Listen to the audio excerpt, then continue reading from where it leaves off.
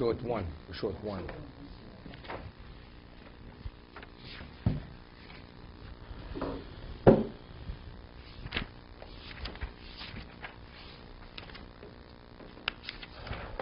Okay. Okay. Parshas Vayelech. Vayelech Moshe v'yadaber es me'ila kol Yisrael.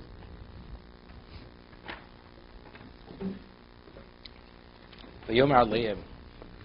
Today I'm 120 years old. I'm not able to go out or come. We'll see what this means. Nazeh. And Hashem said, You will not cross the Jordan. Rashi, hayom, milu yom ha'ishnosai, yom ze noladati, yom ze omos. I was born today, and I'm dying today. Vashem Omer Eli ze pirush lucha lo lotzis lovo. Why can I cannot go and come? Vashem Omer Eli. Lucha od lotzis lovo yocho shitoshish kochi. Is it kocha? Is it because he was his strength waned? Talmud lomar lo kosa eno lo. His eye did not weaken, and his vibrancy did not was did not was not lost. El malu uchal ene rashoi.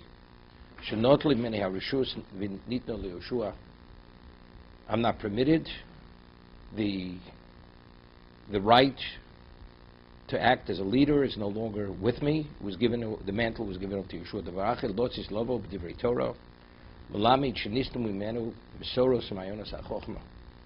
That from here we see that all the well springs of wisdom were sealed, and therefore that's the meaning. I'm not meaning I'm no longer functional as as a conduit of Torah. Gemara says at the end of Tamura that the last day of Moshe's life he said to Yeshua, do you have any questions to ask? Because the well springs are still open. he says, I have nothing. It says it was Chol Shadaito Shel Moshe. Moshe was like taken aback.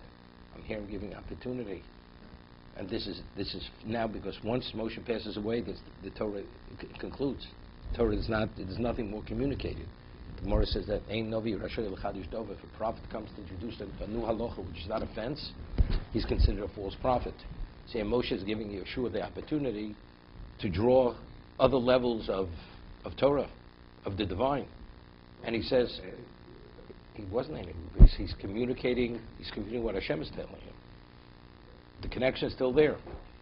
Since it's Chol Daito, and then afterwards, that day that Moshe passed away, they forgot over 2,000 2,000 halachas were forgotten as a result of the grieving mourning of Moshe. They were upset with Yeshua that they wanted actually kill Yeshua. That's how upset the people with him.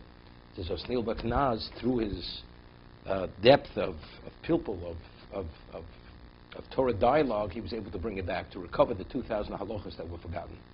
But they were upset. They were very upset with Yeshua. Here you have such an opportunity. How do you say that you, it's not necessary? We have it all. We don't need more. He should have said, whatever it is, just keep, let it just keep flowing. But he didn't. We have a minyan. Jerry Katz just walked in. No? We, we don't have 10? I'm not sure. Okay, so let's go a little further. It's Rafi. Well, Rafi, I didn't mention.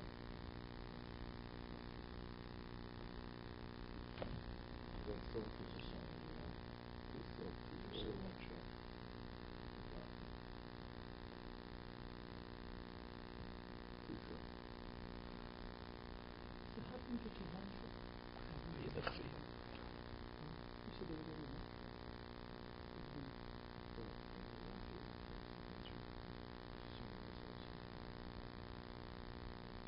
He said something phenomenal to to Sforno. David, when studied Sforno with the Art Scroll, Rabbi uh, Pelcovitz, his, his commentary, he says Moshe only inf- informed them of his passing only once he concluded the bris, to tell them the bris of Arevus, Jews' communal responsibility. He should have told them at the same time, you know, I'm about to pass away, I have to inform you about this bris. So he says, he explains, שאח שהשלים עניוני הבריס יסעור לנח מיסור ומיסוסו. כדי שליסערבו שמחס הבריס הראוי להם להורוס על יוסם מקבלם הבריס בשמחה. It was crucial that they have to accept it, embrace the bris with joy. And if they would have been aware that Moshe was going to pass away, they would have been, they would have been uh, uh, in a state of melancholy, dep- semi-depression. Therefore, first he informed them, because the Bris had, they had to accept it b'simcha, al derech yismach yisrael b'osav. Klal Yisrael, we rejoice with our Maker. V'zip zavatu shlom v'chaltu shamach l'shlem. Shem Elokecha. When bring the shlomim, you have to rejoice. Whenever you serve God, you have to rejoice. Whenever you have that connection. There's similar. Why not? Why Weren't they, weren't they struck down a couple of Satorah? So Rashi says, because they deserve to die then. Hashem just delayed their death until the eighth day of Hakamas HaMishkan. Because when we accepted the Torah, Hashem didn't want that the tragedy of Nadav Avihu should in any way detract from the simcha of the Torah, of the giving of the Torah. Same idea. Especially if that was the most monumental moment, Kabbalah Torah. Here, this is the, only a bris. This is the renewal of the bris, whatever the bris was. So, to inform them that he would die, this would somehow infringe or weaken or impinge the level of simcha. Therefore, he did not reveal it to them. But they weren't aware of it when they started the whole story. No, no, Vayelech Moshe, this is the last day of his life. No, no, but um, this is after This is right after the bris. the, Pasha Dvarim, he started thirty days before the They didn't know. They didn't know. They didn't know. They didn't know. But factually, it was the last 36 days of his life. Okay?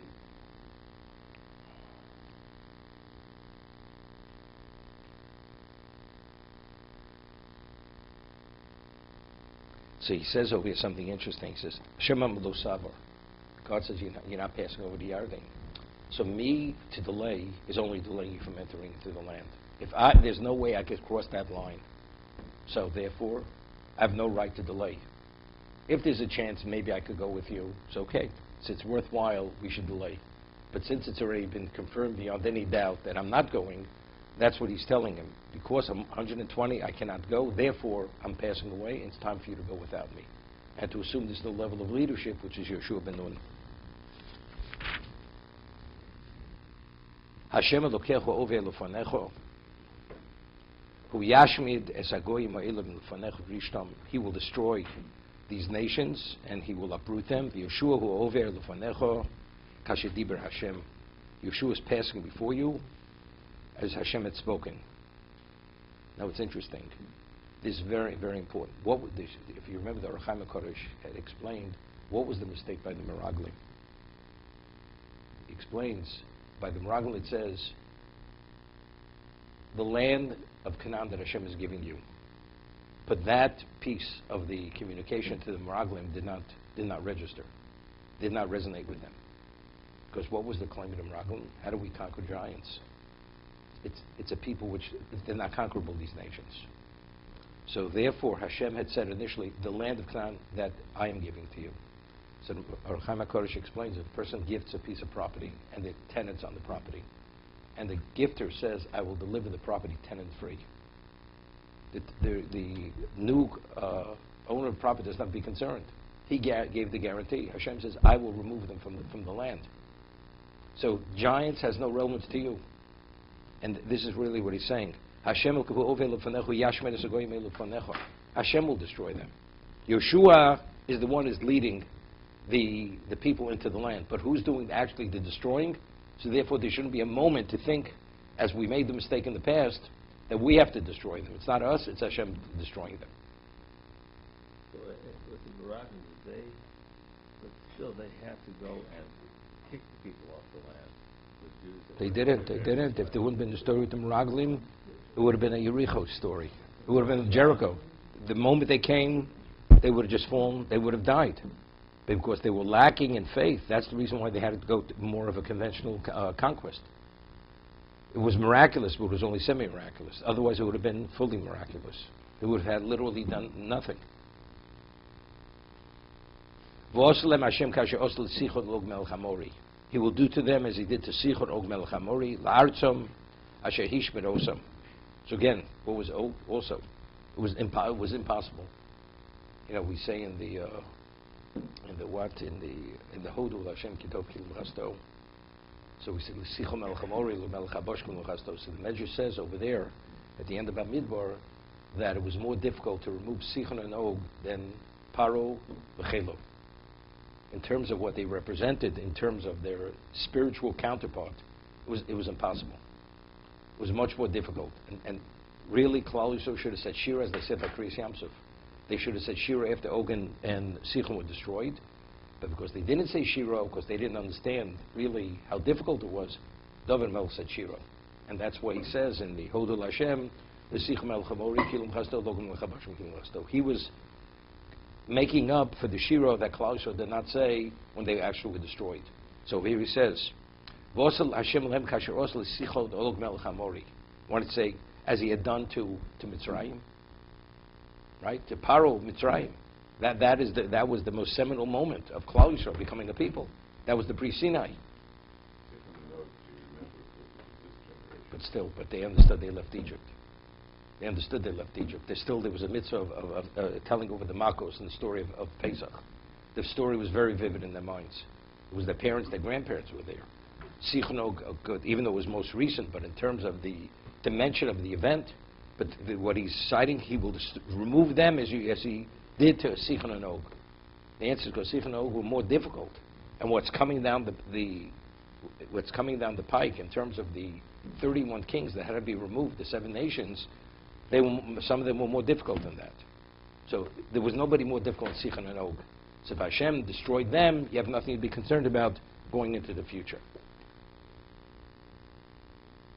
Okay?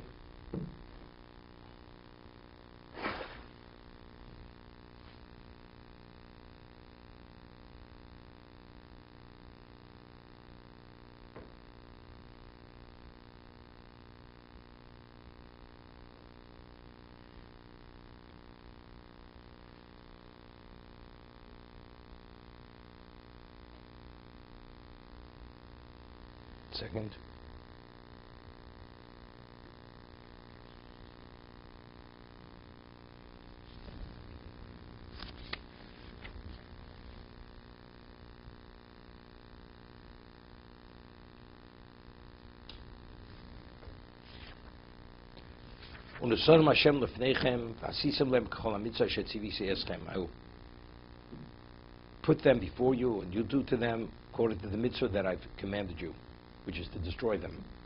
This Luschai Kol Neshama, all the members of these communities, these nations had to be destroyed. Chizku you should be strengthened and you should have vigor.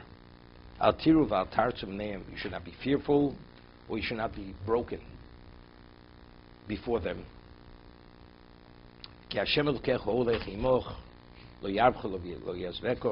Hashem is, is going with you. You should not be weakened. Lo ya- He will not allow you to be weakened. He will not abandon you. So it goes together, Rush. Lo. He will not allow you to feel uh, any state of like hopelessness that you should feel that you've been abandoned. It's not two separate things. Lo yarbcho v'lo yazveko, even though the vav seems to be superfluous. It said lo yarbcho, lo yazveko. Kama lo yazveko. It's not lo yarbcho, lo yarbcho v'lo yazveko. Unless it means he will not allow you to feel in a state of hopelessness that you feel abandoned.